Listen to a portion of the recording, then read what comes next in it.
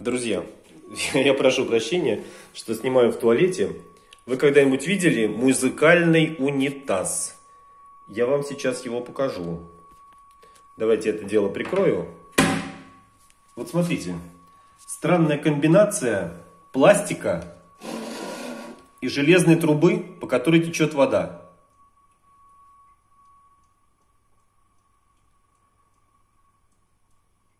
Вот слышите звук? Сейчас он начнет нарастать.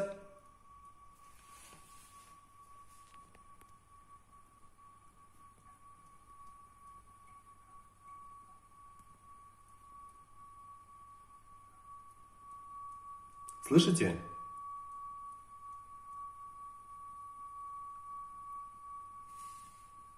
Вот я не очень в этом разбираюсь, что это за такие резонансные дела. Вот Одна часть трубы касается пластика. Почему возникает такое гудение, я не понимаю.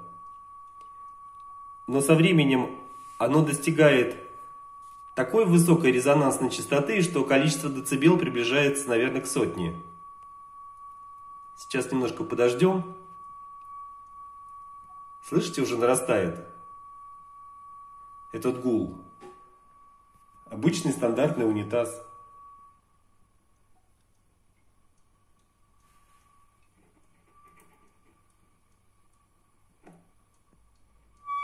Вот, слышите? Смотрите.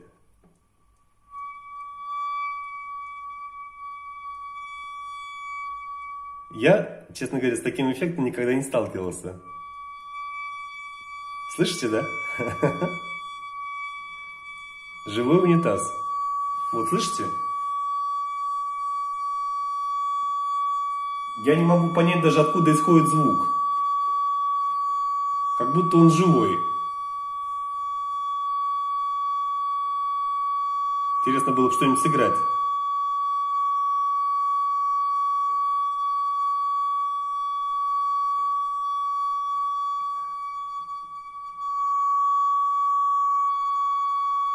Вот как это объяснить? Да?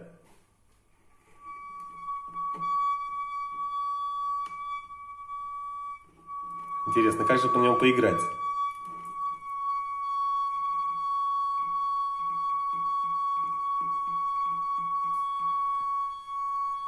Эх, полным-полна моя коробушка есть, мне сидец и по.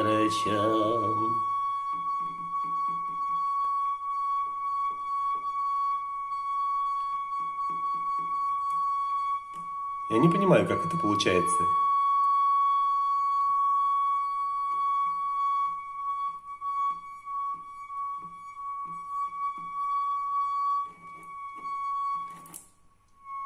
Смотрите, другая. Другая нота фактически.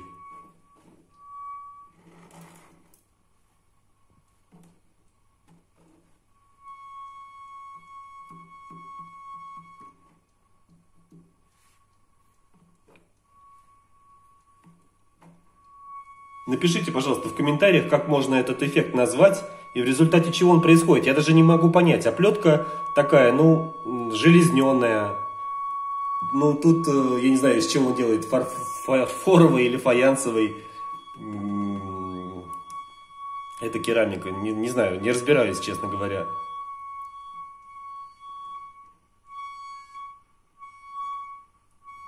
Ну, как это объяснить? Я даже не могу понять, откуда звук идет.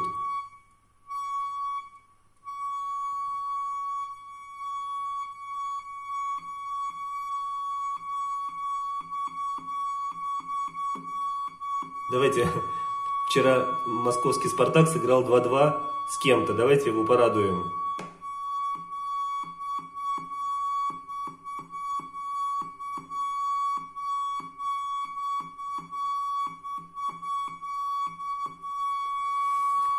Нет, я ничего не имею против московского «Спартака», просто других кричалок не знаю, так что болельщики меня извините.